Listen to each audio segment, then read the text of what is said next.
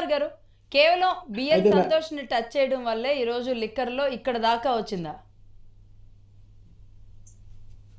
కాదు కాదు. ఇప్పుడు నిన్న అది విషయం చూడండి. నిన్న బెయిల్ విచారణ జరిగింది. కవిత బెయిల్ విచారణ జరిగింది. దాంట్లో ఈడీ స్పష్టంగా కోర్టుకి ఏం తెలియజేసిందండి కవిత అనే ఒక వ్యక్తి బాగా ఇన్ఫ్లుయెన్స్ ఉన్న వ్యక్తి అంతకుముందు కవితకు వ్యతిరేకంగా వాంగ్మూలం ఇచ్చినటువంటి అరుణ్ పిల్లయ్ కావచ్చు పుచ్చిబాబు కావచ్చు వాళ్ళిద్దరిని కూడా బెదిరించి వాళ్ళు ఇచ్చినటువంటి వాంగ్మూలాన్ని ఉప ఉపసంహరించుకునేటట్టుగా చేసింది అని చెప్పేసి ఒక ఉదాహరణ చూపించి ఇంత ఇన్ఫ్లుయెన్స్ ఉన్న వ్యక్తి గానికి ఉమ్. ఆమె గాని బెయిల్ ఇస్తే మిగతా సాక్షుల్ని కూడా ఇన్ఫ్లుయెన్స్ చేసి ఈ యొక్క కేసు యొక్క సాక్ష్యాధారాలను చెడిపేసే అవకాశం ఉంది.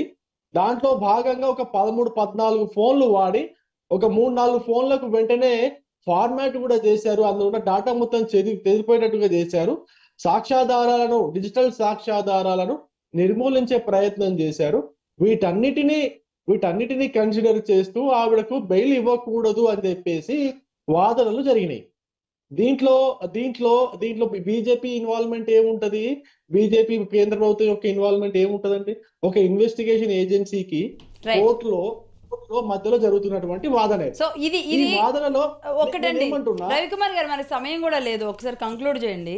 ఇది ఎక్కడి వరకు టర్న్ అవుతుంది అనుకుంటున్నారు? ఏంటి? ఈడీ లక్ష్యం ఏమై ఉంటుంది? నేనేమంటున్నా ఈ యొక్క ఈడీ లక్ష్యం ఒకటేనండి. ఎక్కడెక్కడైతే అవినీతి జరిగిందో అవినీతి జరిగిన సొమ్ముని అవినీతితో సంపాదించినటువంటి సొమ్ముని ప్రజలకు చెందాల్సినటువంటి సొమ్ముని ప్రజలకు చెందించేటట్టుగా చేయడమే ఈడీ బాధ్యత. ఓకే. తన పని తను చేసుకుని పోతుంది. ఈడీని మేము కోరలున్న పులిలాగానే ఉంచుదాం అనుకుంటున్నాము.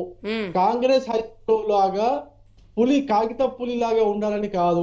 ఉమ్, కోరున్న పులిలాగానే సిబిఐ కావచ్చు ఈడీ కావచ్చు ఇన్కమ్ ట్యాక్స్ ఆఫీసర్లు కావచ్చు వీళ్ళందరూ కూడా పని చేయాలని చెప్పేసి కోరుకుంటున్నటువంటి ఏకైక ప్రభుత్వము భారతీయ జనతా పార్టీ ప్రభుత్వం మోడీ ప్రభుత్వము. రైట్ దీంట్లో ఎటువంటి ఎటువంటి డౌటే లేదు.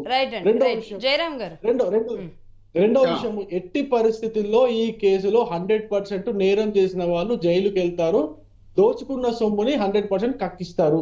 అందులో ఎటువంటి డౌట్ లేదు ఎంత పెద్ద వ్యక్తులైనా కావచ్చు. కాకపోతే రాజకీయ అవసరాల కోసము బీఆర్ఎస్ కాంగ్రెస్ ఒక్కటవుతున్న తీరుని మీరు ప్రజలందరూ గమనించాలని చెప్పేసి నేను కోరుకుంటున్నా. అక్కడ అరవింద్ కేజ్రీవాల్ అరెస్ట్ని మీరు వ్యతిరేకిస్తారు అసలు అరవింద్ కేజ్రీవాల్ విషయం తెలంగాణలో ఉండి మీరు రవికుమార్ గారు పదే పదే తీసుకొచ్చిన వేస్ట్. ఇక్కడ ఇంత పెద్ద యుద్ధం జరుగుతుంది? పూర్తి కాదు కాదు. ఈడీ ఈడీ కానీ కేంద్ర. ప్రభుత్వం కానీ ఏమైనా ఏమైనా ఇనిషియేషన్ తీసుకుంటే రాష్ట్ర ప్రభుత్వం నుంచి పూర్తి స్థాయి సహాయ సహకారాలు అందిస్తాము అని చెప్పేసేసి ఇక్కడ ఎవరు? రేవంత్ రెడ్డి గారు రేవంత్. రెడ్డి. రేవంత్ రెడ్డి గారు అన్నారు. ఎట్ ది సేమ్ టైం ఇదే రేవంత్ రెడ్డి గారు కేజ్రీవాల్ కోసం పోయి ప్రచారం చేసిరు కదండి మరి. ఆయన బట్టి విక్రమార్క పంజాబ్ పోయి ప్రచారం చేస్తున్నాడు కదా కేజ్రీవాల్ కోసం మరి. రైట్ అదే కేసులో కేజ్రీవాల్ ఇరుకో ఉన్నాడు కదా జైలు పోయి ఉన్నాడు కదా అంటున్నా. ఇది అర్థం చేసుకోవాలా? ఈ లింకులు అర్థం చేసుకోవాలంటున్నా ప్రజలందరికీ కూడా ఇదే విషయం చెప్పదలుచుకున్నాను ఓకే అంటిల్ ఎందుకంటే అంటిల్ అందరిది కాంగ్రెస్ కూడా లక్ష్యం పార్టీ, ఒకటే అయి ఉండొచ్చు. టీఆర్ఎస్ జయరామ్ గారు పార్టీ మీరు ఒకసారి చేయండి. అవినీతి యా, విషయానికి ఇది కలిసిపోతారంటున్నా. ఒకటి.